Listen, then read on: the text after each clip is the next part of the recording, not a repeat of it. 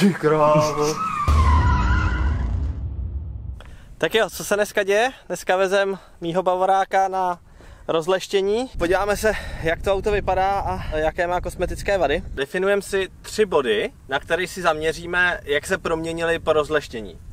První bod je tady zadní výko kufru. To je opravdu hodně nepovedený, je vidět, že má opravdu hodně škrábanců. Druhý bod je kapota, která má na sobě ty samý mikroškrábance. Je jich taky spousta a ta barva pak není prostě taková. Navíc na sobě má spoustu takových malých bordelů, který nejdou odstranit. Takže to bude druhý bod, který doufám prokoukne. Třetí bod je tady na boku, jsou to dveře, které mají vyloženě škrábance až do bíla. Jo, tady je to vidět, jsou opravdu nepěkný, hluboký škrábance. Uvidíme, co se s tím dá dělat. Tadyhle ještě čtvrté bonusové místo. Je to na pravé straně auta a udělal jsem ho já, když jsem houbičkou čistil lepidlo. Takže tadyhle se podíváme, jak prokoukne tohle. A je vidět, že to je opravdu hodně špatný. Vedle je to normální. Tak uvidíme, jestli se s tím dá něco dělat.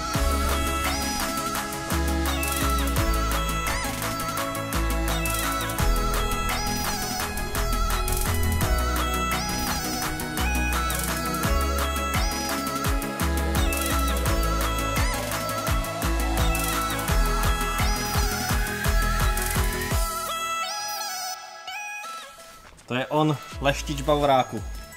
Co s tím uděláš? Tak aby si to měl pěkný, tak ti to nejdřív dekontaminuju. Tam se rozpustí veškerý bordel, který ty ručně nedostaneš. Potom to umeju, usuším, zavřu do garáže, 20 hodin budu leštit plus minus, odmastím, nanesu keramický vosk, hodinku počkám, nanesu druhou vrstvu keramického vosku, rozleštím a pak z toho vznikne něco, co bude vypadat jako líp jak tohle.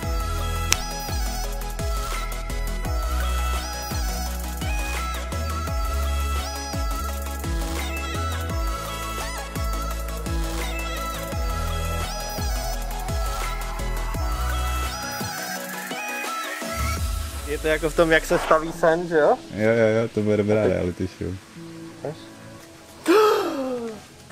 Ty krávo. Ty král, to je fakt úplně jak jiný auto. To je teda mazec. Ty vole, zavolejte mamku, to musí vidět. Ty vole, ty krávo. To je hodně slušný, ne? Ty vole. Musím říct, přátelé, že první dojem je neuvěřitelný.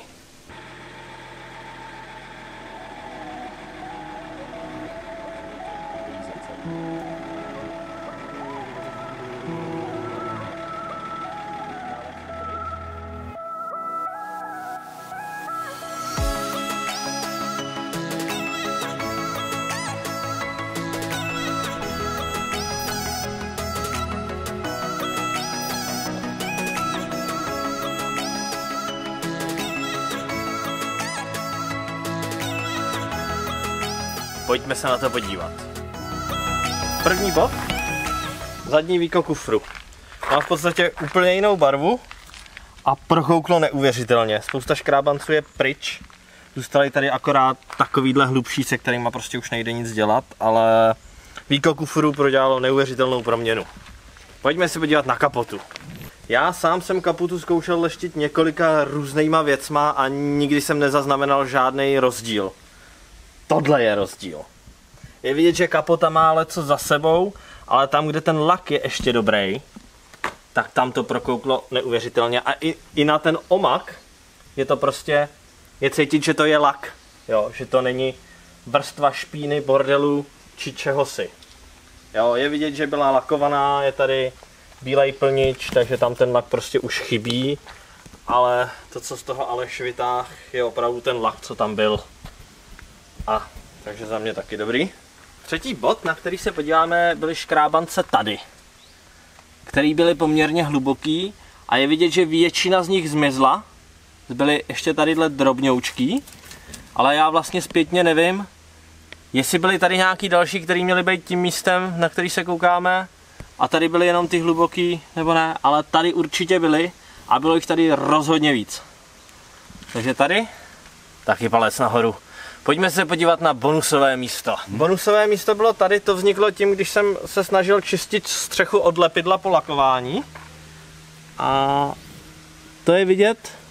Proti sluníčku ty škrábance jsou ještě trochu vidět, protože byly dost hluboký. Ale normálně, když jdete kolem, tak si jich ani nevšimnete. Takže za mě taky dobrý. Takže celkově, když se na to auto podívám, tak jsem spokojený. Jsem opravdu hodně spokojený, jsem překvapený a rozhodně jsem dostal víc, než jsem čekal. Protože to auto vypadá úplně jinak. Už si konečně nemyslím, že je zelený. Aleši, opakuj nám, co jsi teda použil, co jsi udělal s tím autem. Takže co jsem udělal? Auto jsem musel nejdřív umýt. A před mytím se použije dekontaminační prostředek, který se na auto nanese, nechá se 7 minut působit, rozpustí veškerou polétavou res, zbytky asfaltu. Prostě, když máte světlý auto, což na tomhle to nebylo vidět, tak to auto sfialový. Sfialový, protože tam dochází té chemické reakci k tomu rozpouštění té polétavé rzy a toho gumu asfaltu. Po sedmi minutách se auto opláchne a umyl jsem ho zase šampónem silným značky CarPro, Reset se jmenuje, který vlastně ten lak už po umytí tohohle šampónu, tak eh, to auto se nějakým způsobem rozsvítí. A ten lak není tak hrubý, ale krásně lesklej. Hladký. No a pak nastoupilo těch ta horší část, 21 hodin leštění. Použil jsem pastu Simplex Nitro, je to americká pasta, výborná, krásně se s ní pracuje, krásně se roztahuje a relativně i rychlá pasta. Mám tady pasty od jiných značek a prostě s těma se nepracuje tak dobře jako s touhletou pastou od Simplex Nitro. Každopádně doporučuji, kdo si bude leštit doma. Je teda dražší, ale stojí to za to. Další přípravek od Carpra Eraser. Je to vlastně odmaš, je to takový odmašťovadlo, když to řeknu laicky. Celý auto se tím přeběhne a tento přípravek odstraní zbytky zaschlý pasty, nebo čmouch, nebo prostě po leštění.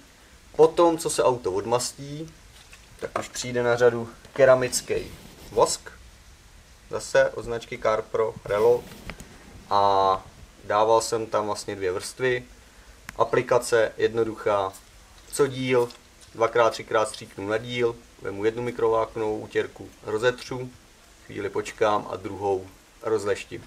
Není potřeba jako dřív u jiných přípravků, že se na to musí tlačit nějakým způsobem. Krásně to jde. Hladce. Obejítí celý auta zabere tak nějak hodinku a potom už vlastně ten lak se rozsvítí a jde do finálového toho vzhledu, jako je teď vidět. Jak dlouho ta keramika vydrží? Tenhle ten keramický vosk na tom autě vydrží 4 až 6 měsíců. Zákazníkům nedoporučuju, aby jezdili do myčky a používali chemii v myčkách, ale spíš ruční mítí. Samozřejmě, když se k tomu pořídí tenhle šampon, tak tím se prodlužuje vlastně ten, ta trvanlivost toho vosku mm-hmm. na tom autě. Protože už i ten šampon má v sobě obsažený, obsažený nějaký, vlastně má vlastnosti, který ten lax furt zaceluje.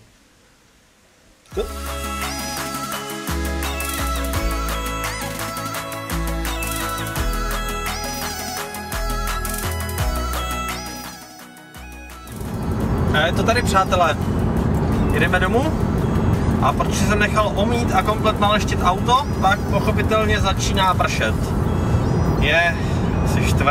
srpna, měsíc nepršelo minimálně. Drama je u konce, auto je zpátky v Hradci Králové, vypadá stále fantasticky, jsem rád, že nezmoklo, takže paráda, díky, čau.